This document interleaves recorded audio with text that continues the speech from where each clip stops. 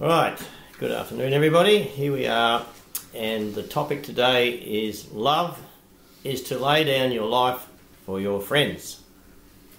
A very interesting statement. The infinite, omnipresent Elohim of Israel, while remaining omnipresent, took upon the flesh of men and dwelt among us as Yeshua, Jesus, the unique human manifestation of Yod-Hah-Vah-Hey, Yahweh. So Yahweh himself, as we all know, is actually Yeshua or Jesus. So what great love he had that he himself didn't send someone else, he didn't make another man, but he himself, the creator of the world, came down onto this earth to die for us to be our salvation. Colossians 2 9 For in him dwells all the fullness of divinity bodily. He's talking here about Yeshua, Jesus, that he is the fullness of divinity bodily. Yod Havahai, Yahweh by nature is not flesh, he is not a servant nor a man.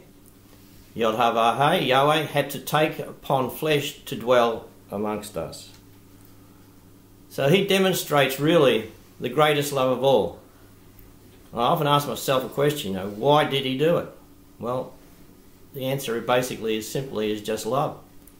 He loved you and I so much that he had to die for us. Colossians 2 8 to 9. Watch that there not be one misleading you through philosophy, empty deceit, according to the tradition of men, according to the elements of the world, and not according to Messiah for in him dwells all the fullness of divinity bodily. So again, Scripture proves that it was Yahweh himself who became Jesus, Yeshua. One main reason for Yahweh becoming a man was to be our kinsman redeemer and die as a sacrifice on the stake or tree to set us free from the law of sin and death. In Romans 8 2, for the law of the Spirit of life, which is in Yeshua Messiah, set me free from the law of sin and death. So Yahweh himself, as some people call him God, he came personally down onto this earth and subjected himself to death, a horrible death on a cross or a tree, demonstrating to us that he he himself had to die for you and me. Question come across my mind. Is there any other name God who has been declared as a loving Saviour, who has declared that he would give his life to save you and me? I can't think of one. Not even Allah. None. Can anyone here think of another God? With such love? Not one. So why would you want to even believe in some other God? Acts 2.21 And it shall be that everyone who shall call on the name of Yahweh will be saved. That's also in the Old Testament in Joel 2.28 to 32. It shall be that everyone who shall call on the name of Yahweh will be saved. Interesting. Very simple solution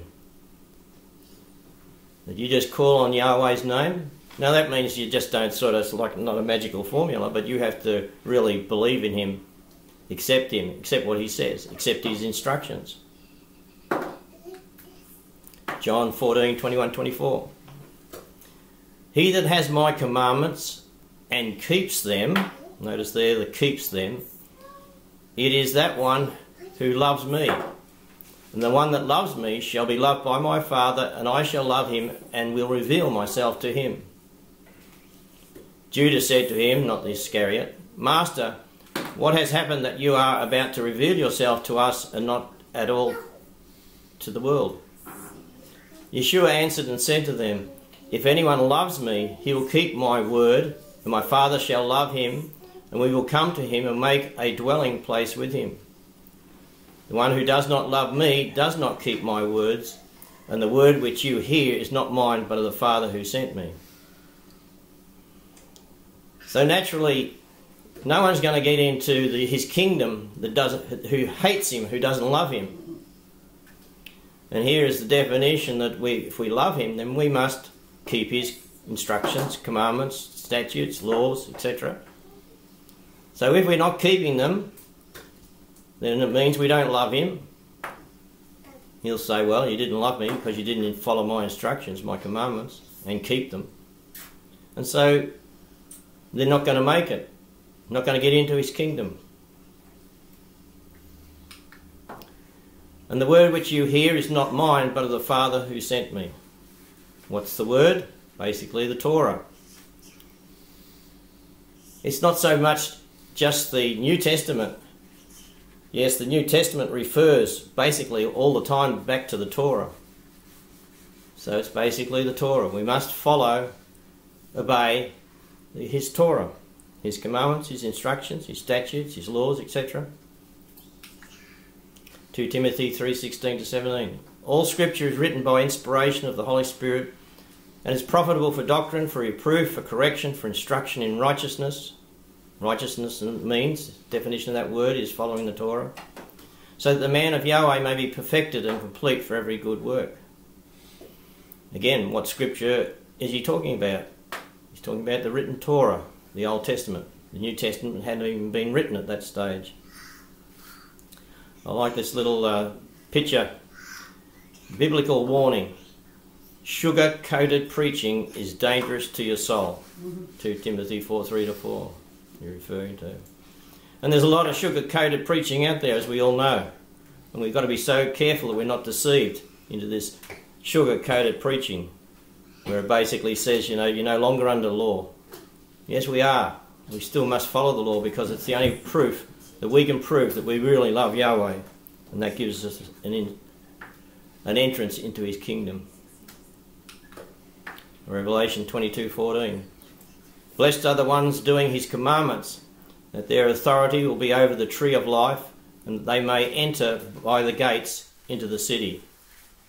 So again, blessed are the ones doing His commandments, His instructions, etc., His Torah.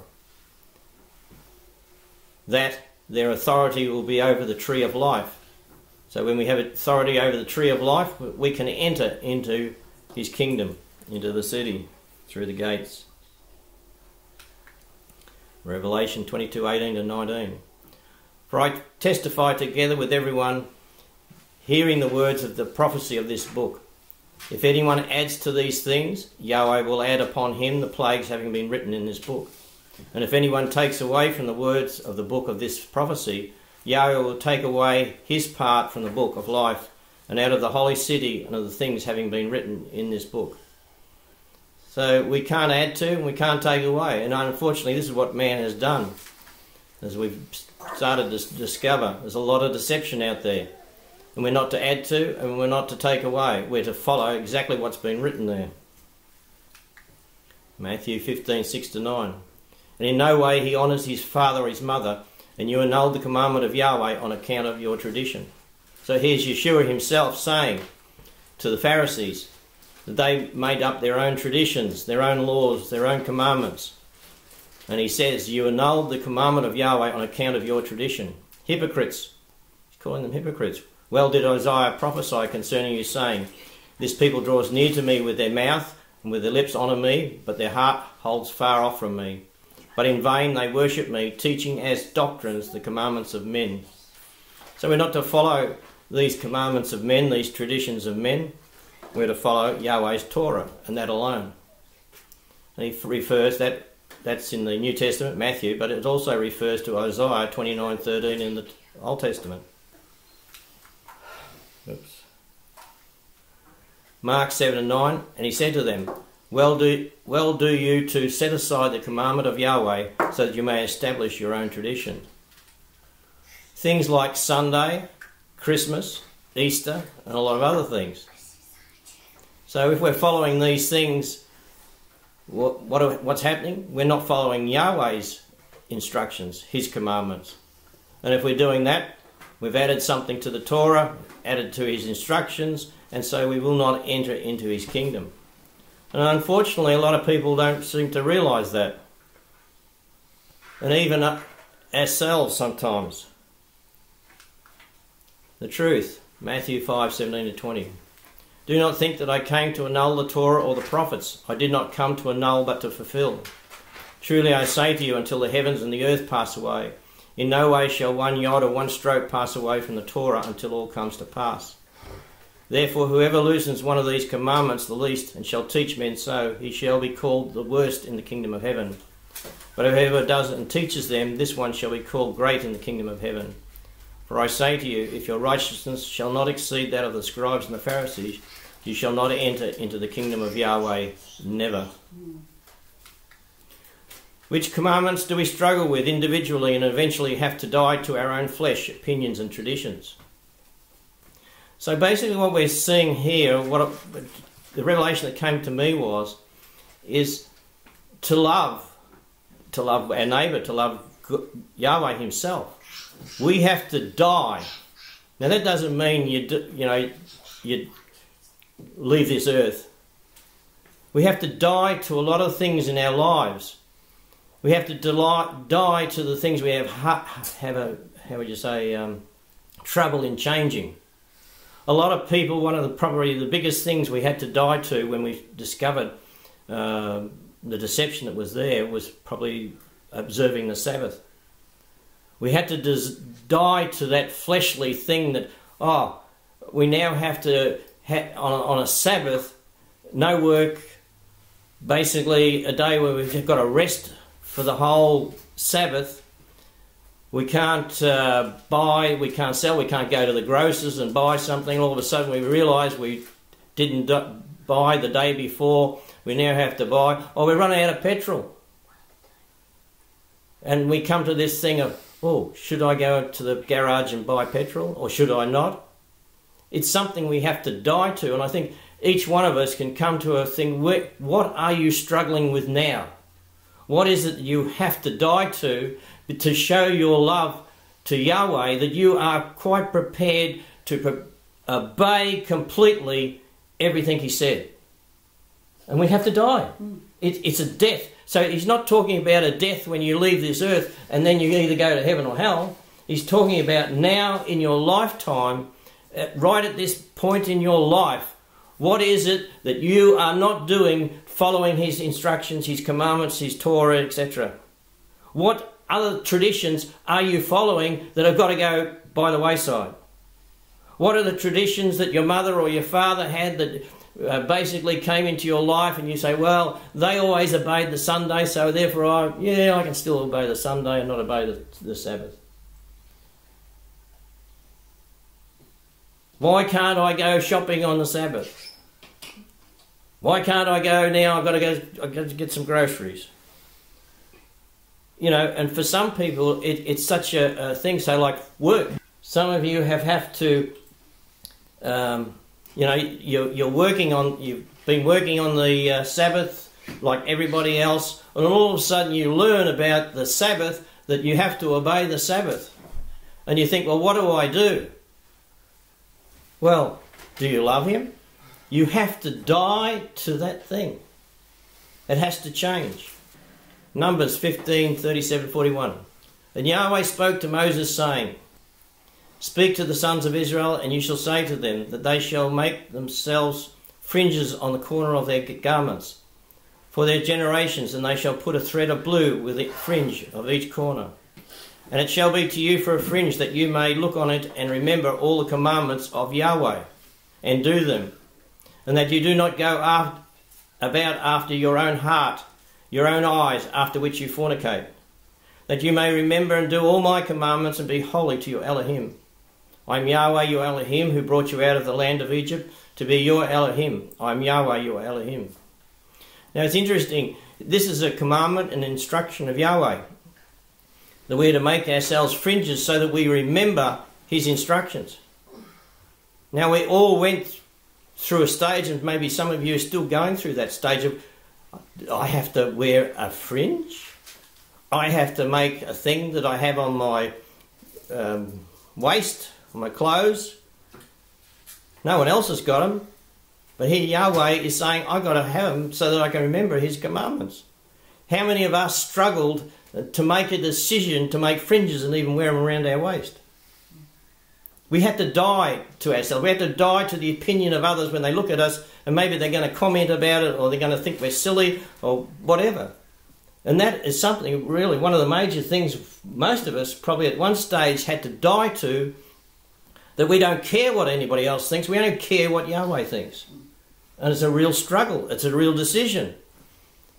And this, I believe, is proving our love to Yahweh when we say, That's it. I'm not going to worry about what anybody else thinks. I'm not going to be worry about what anybody says. You know, for some of you, it is it is really a thing to die for because you had to go to work amongst all your companions and people, and all of a sudden you're wearing these. You think, you know, they're going to think silly looking fringes hanging on the side, you know, and they're going to think I'm a bit strange and I'm a bit silly. It is something you had to die to. And if you haven't died to it, you're going to have to die to it. Because you're going to have to prove your love that you, you love Yahweh enough to do what He says to do. Not worrying about the opinions of other people around you, even at work. Even to the point that you might lose your job over it. You know? So he's basically saying, love you have to die to someone. If, if for Charmaine, if a big alligator came out of the, the, the ocean and started to attack her, I'd have to go and do my utmost to protect her to show you that I loved her. You know, there's been some YouTube stuff. There was actually an alligator. This woman, uh, she fell into the swimming pool, and somehow in America there, there's alligators all over the place. And the alligator come out of the bushes and dived into the swimming pool after her. And what did her boyfriend do? He ran off. Now, did he love her? No. But there have been occasions where bears have come out of the wood and attacked the, the, the wife, and the husband has gone in and given his life for her life, proving that he really loved her. You know? Are we prepared even for one another? You know, we, we say, oh, yes, I love everybody. Well, let's see what happens. I was listening to um, on YouTube Trey Gowdy. He's the one of the top Americans in the whatever the government thing, and he was talking. He's a Christian guy, and he was saying the one thing he always remembers was in America there was a plane crash, and the plane crashed into a bridge over a, a big lake or wherever it was, a river. They were all it was freezing cold. The plane had crashed, and all these people they sort of survived, but they were in the water. It was freezing. A helicopter come over, let down a ladder, and there was a guy there, and he helped people onto that ladder. He didn't get on the ladder. And up to the fourth person, he got onto the ladder and they got saved and he drowned. And he gave his life for those people. That shows his love for people. I think uh, sometimes even during wartime, mm. those guys that have died through the war, they went to for their mm. children, their wives, their mothers, their fathers, and they gave their lives. It showed to me, I really believe, it showed my, their love to those other people, mm. and also their love to God. So we got to, you know, it's some of the things when you've finally done them, like when I started to wear my uh, tzitzits Yes, I struggled for a while and struggled thinking about it. You know, I've got to wear this out and people are going to look at me and think I'm strange and whatever. But I've done it for so long now and I've only had two people inquire about them. You know, was, was no price really in the end. It was easy when, when you got over it. But I had to pay that original price. Following the Sabbath, had to pay a price. Um, and many of his commandments. Leviticus 23 1 to 4. And Yahweh spoke to Moses, saying, Speak to the sons of Israel, and you shall say to them, The set feasts of Yahweh, which you shall proclaim as holy gatherings, shall be there. These. These are my appointed feasts. Work is to be done six days, and on the seventh day shall be a Sabbath of rest, a holy gathering. You shall do no work. It is a Sabbath to Yahweh in all your dwellings. These are appointed times of Yahweh, holy gatherings, which you shall proclaim in their appointed seasons. Now, this could be the one of the, the, the latest ones that we're struggling with. the feast, not only the Sabbath, but also the seven feasts. So we've got the new moons, we've got Passover, unleavened bread, first fruits, Pentecost, trumpets, atonement, tabernacles, the new moon and the Sabbaths. All these feast days. Appointed feasts that Yahweh is calling us to come and meet with Him on these special days. It's a cost, it's a struggle we have to come to to say, oh, now on these days, I've got a, especially there's usually one a Sabbath on these days, a special feast day Sabbath, which means another day of no work. We've got to go to our bosses and say to them, I would like this day off because it's a Sabbath for me. It's you know, the Muslims get their days off. They're not afraid to go and say, well, I must have that day off, and they have the people give them their day off.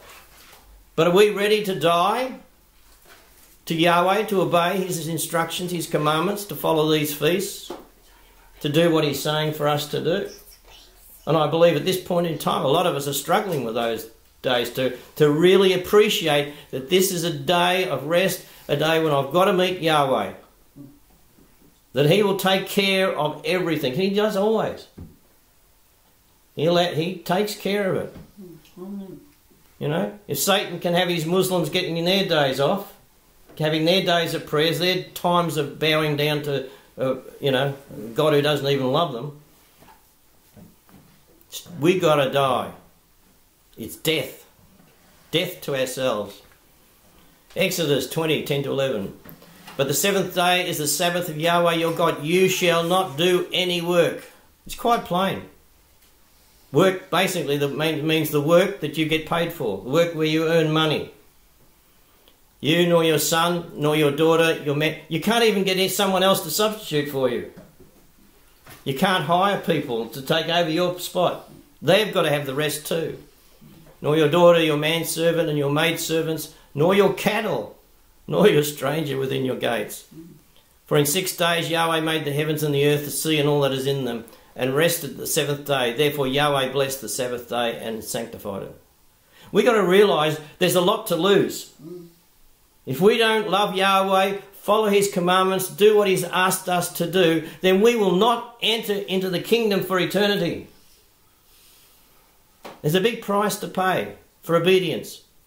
And we forget that. We don't realise that. It's a bigger price than our 120 years maximum on this earth. It's, we're talking about eternity living with Him. It's not worth it, folks. I like that one. The Shabbat. The rest is up to you. It's a day of rest. It's up to you. Jeremiah 10 2 to 5. So says Yahweh. Do not learn the way of the nations, and do not be terrified at the signs of the heavens, for the nations were terrified at them. For the custom of the peoples are vanity. For one cuts a tree out of the forest with an axe, the work of the hands of the craftsman. They adorn it with silver and with gold. They fasten it with nails and hammers, so that it will not wobble. What's he talking about? Christmas. Here's again the biggest thing sometimes we have to die to. We have to die to celebrating Christmas, celebrating the pagan feasts that are out there. Valentine's Day, uh, Easter. We've got to, sometimes you've got to die to it because it's so in, um, ingrained in each one of us because we've lived for so long following these customs. And now all of a sudden we've got to go against our family, against our mother, against our father, against maybe the children or whatever it is. We've lied to the children for so long that, oh yeah, this is, you know, the Easter bunny, etc., etc. Rubbish. Die. We've got to die. Die to all these things. Deuteronomy 5.21. You shall not last after your neighbour's wife. Now, for us men, one of the biggest one of the biggest weaknesses we have as men of not last lusting after females. You know, if you're a normal man, that's one of the biggest areas you've got to die to. Nor shall you covet your neighbour's house, his field, nor his male slave, nor his female slave, his ox or his donkey, nor anything which is your neighbour's. Jeremiah 22 17. But your eyes and your heart lust for nothing but your unjust gain, and to shed innocent blood and oppression, and to do violence. We lust after money. Again, something else we've got to die to. That Yahweh will supply our needs. In Matthew 5 28, but I say to you, everyone looking at a woman to lust after her has already committed adultery within his heart. Now, all us guys, basically, I can, I can say as a man, we're all guilty of that at some stage or other. But not only do we lust after those things, we lust after a lot of other things. We lust after a, a car, a house, a TV set. You know, you walk into someone else's house and they've got a bigger TV than you, then you start lusting. Uh, you want a bigger one. Yahweh says you lust. All of us, probably even the females, you know, they lust after, well, they walk into someone else's bigger kitchen. I want as big a kitchen as that. We're lusting. Yahweh will supply what we need at what, at what time He wants to give it to us. We don't have to lust for anything. We just have to relax with Him, knowing that we're obeying Him, and when we obey Him, He will supply all that we need. Only what we need, not what we lust after. Mm. John 15, 12, 13. This is my commandment that you love one another as I loved you. Greater love than this has no one that anyone should lay down his life for his friends. That's love. Greatest love. And we've got to show Yahweh our love by laying down our life to a lot of things. 1 Corinthians 15:31 I affirm by your pri- your pride which I have in Messiah Yeshua our master I die daily. See, it's, it's not just dying at the end of your life, it's dying daily. And this is Paul speaking. He says, I die daily. We have to die daily. Get ready for it. Romans 6 2. Let it not be. We who have died to sin, how shall we still live in it? So we basically we're dying to sin. It's, we've got to get sin out of our lives. And as, as they, Paul says, we have to die daily to any sin, any temptation, anything that's not of Yahweh. And you can't say, well, I don't know what sin is. No, you, it's built into you. You know what's wrong. The, if you had an Aboriginal way out on some island, he'd never, and there actually is an island uh, somewhere in the sea, I forget exactly where it is, where there's a, a tribe of um, natives, and no white man has ever been there, even to this day. And they know what's right and wrong because we have a conscience, and our conscience tells us what's right and right and wrong. And we have to die to the things that our conscience is telling us that's wrong. Romans 6:11 So also you count yourselves to be truly dead to sin but alive to Elohim in Yeshua Messiah our master. Dead to sin. So the main message there is to love Yahweh to love our fellow men we have to die to sin. We, daily. We have to be ready when the challenge comes to obey his commandments that we never knew about, like the Sabbaths and the feasts and all that, is I have to die to that to love Yahweh. So I have to make an arrangement to make sure I'm following that. I have to learn how to do it. How do I follow the feast? What do I have to do for the feast? Amen? Amen. Thank you, Yahweh. Thank you, Yahweh, for this message. Father, I pray, Lord, that this message goes into us and we all start to say, yes, I must die daily. And what do I have to die daily to? What is on, on your favourite list for me this week, Father? The things that, what am I not doing? I need your grace and I need your help to accomplish and to do the things that you want me to do because I love you. Amen. I think uh, last week when Yahweh said he's dropping the plumb, plumb line down our lives, to see what's out of alignment. Uh, you can have that with the curtains on. Sorry? You can open the curtain. When he said he was going to, you know, I saw the plumb line being dropped down and being hunted towards to see what's out of alignment in our lives. Um, um, and the message that I'm bringing, not this week, next week, um, Week after. Week after is next week for Alex. What's the day next week? 15, and then my two to finish the month. Okay, it's all lining up together, but you know, I think um, Sue had this interesting dream, basically about six groups of people. Um, sorry, yeah, um, that there are people who are excited. No, I'll keep, I'll keep it going. There, there are people who are excited about the Hebraic roots and want to learn. There are people who don't want to learn. There are people who don't want to change. There are mockers. What was the other two? The people who are trying to understand but they can't understand, And those getting excited about it. and those getting excited about. it. So six groups of people in a dream, and somewhere you find yourself in that dream. And um, we're, Wendy and I prayed through this dream. We're going to pull it apart and sit down and have a talk to Sue about it. Um, because, you know, when you have a dream, God's talking to you when you have the dream. and then we have to find out what He's saying externally. But um, going back to a few things that Alex was saying there, that when you have to change uh, your mindset, the biggest battle that all of us have is is mo- our mindset. Okay, it's uh, and and and um, we can have strongholds in our minds.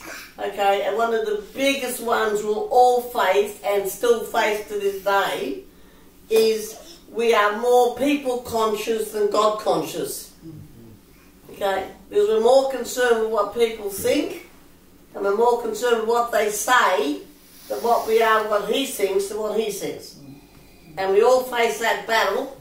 Okay, and going back to the Zitzit, originally with the Zitzit, I'm thinking, okay, um, I know what the Word of God says. You want to do what's right.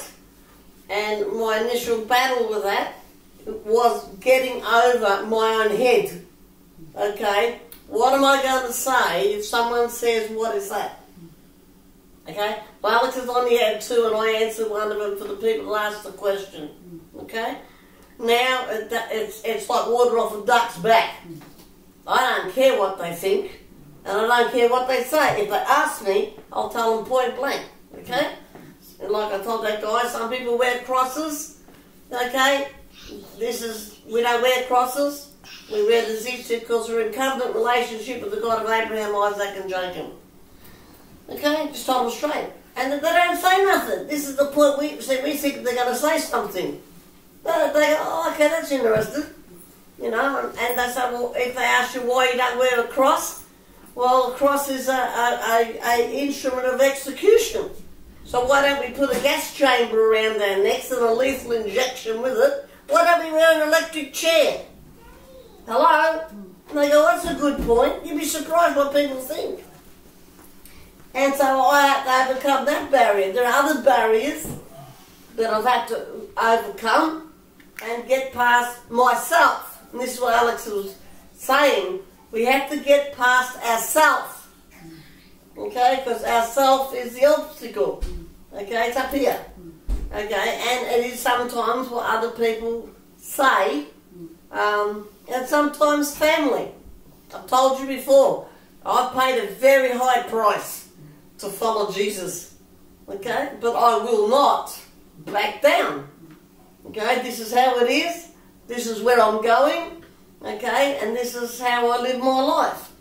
If you don't like that, well, too bad for you. Simple as that. To my own flesh and blood. I will not compromise my walk with God for anybody.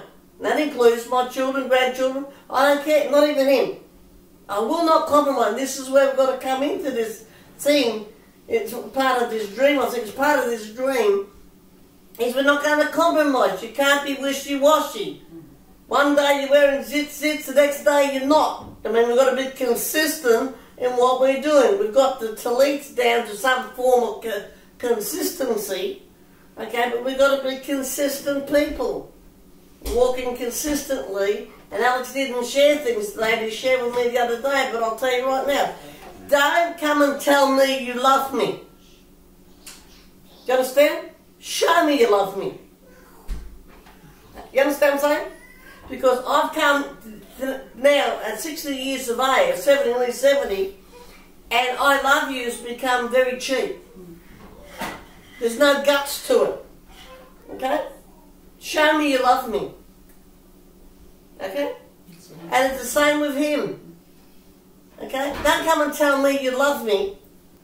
Don't come and sing songs to me that you love me. And don't do what I tell you to do and ask you to do. Show me you love me. You understand? And that's what he's saying. Show me you love me the way I showed you I love you. You understand? But don't come and tell me I love you. And don't do what I asked you to do. And that means we have to die to ourselves. And that's, let's not discussing it. Even in the river here, I'm telling you right now, there's too much flesh. Too much flesh. We have to die to that flesh, okay? And Yahweh loves the smell of burning flesh on his altar. Okay? So when we die to ourselves, what we think and what we worry about other people, what they're going to say, okay, that's going to rise up to him as a sweet smelling offering, a sacrifice, and he's going to go, I smell burning flesh. And he loves it. But we're the ones going to die. We can't say, you know, and I know people are going to listen to this tape, and I don't give a continental cream cake. Okay, if you put work before Yahweh, you put money before Yahweh, you put, um, I earn more money the weekends, I earn more money on this shift, I earn more money doing this, money, money, money, money, and everything's before Him. Okay? You're not going to get fully blessed the way He wants to bless us. Yes, He blesses us, but I believe there's more blessings that He wants to release to His people if we will only do what He's asking us to do. And to do that, we have to die to ourselves. What we think or what we worry about. Amen? Okay? And, and the Hebraic root is, you know, like we were, Wendy and I will discuss this this morning too. Is that, you, well, we're making adjustments. Okay? We've got some things down to some kind of, what do you call it, uh, even thing and other ones we're still working on. But at the same time, in Hebraic roots, we don't forget the basics. Okay? But all of us are called to the ones who have parents. Okay, we're all called to honour our mother and father. Okay? We are not to yell at our parents. We are not to speak rudely to them. And we are to serve them as they've served us all of our lives, for those of us who still have parents. But those of us who haven't got parents, well, you don't miss them until you lose them. You understand what I'm saying? But at the same time, there's fine lines in that with your walk with God because you've got to stand up for what you believe in. And I was saying to Wendy today, there are people out there that are actually Muslims, they working in a hospital. They have to give them five times a day time to pray. Because that's commanded in the Quran that they have to drop to their knees five times a day to pray, facing east towards Mecca. But a Christian will not go to the boss and say, excuse me, okay, I cannot work on that Saturday, I have to I need to go to church. They're afraid to say anything, but the Muslim is not afraid. You understand what I'm saying? So the Christians are silent. And that reminds me of a story I listened to last night. This Jewish uh, guy, prophet, I was quite shocked. All of us know about Waco, Texas. Pay attention to this. Okay? We all know what went down in Waco, Texas, and I got really convicted last night because sometimes you say, oh, you like your wacko and Waco, making a snide comment about what happened with David Koresh and what happened in, in Texas that time. But this Jewish prophet said God told him that the government was going, what happened in Waco, Texas, was an attempt from the government, the beginning of the eradication of Christianity in America. Mm. And God told him to contact the churches, and the churches were to take a tent down to Waco, and they were to pitch a camp outside the grounds at Waco, Texas.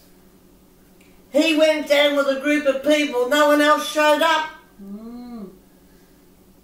And God told him, I'll hold them all accountable for the death of every man, woman, and child that the government shot dead. He's going to hold the church accountable because they didn't go to pray to stop the onslaught that was coming. The church, the Christian, has got no guts. But the Muslim, he's got plenty of guts. You don't give me time to pray, I'll take you to court and sue you for discrimination. But the Christian, and this is where something's awfully wrong here, I feel it in my guts. There's something wrong. Okay, we, the church, okay, have to get our act together. Okay, and don't just think we're going to glide into heaven. Okay, that's what I said something to Wendy, I I told you this morning. Oh, your ear tickling sermons. You won't hear ear tickling sermons in this place. Okay, they'll be in your face. Okay, because the ultimate goal is to get you home. Okay? So, you know, we've got to die, and, and, you know, I'm in the process of dying to a lot of things, and some of them are easier and others are not. Mm. Anyway, but we will make it, and because I'm, I'm determined that I will make it. So if I got to die to everything I hold dear, okay, so be it. I really don't care anymore. I really just don't care. I think we've got to, you know, I think it's definitely lining up to that plumb line coming down your life last week. We've got another three weeks into Moose thereabouts.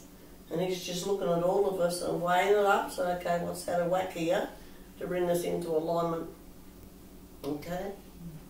Oh. Amen. So that was Charmaine adding some more information to Well, this disturbs message. me, that's why. Thank you.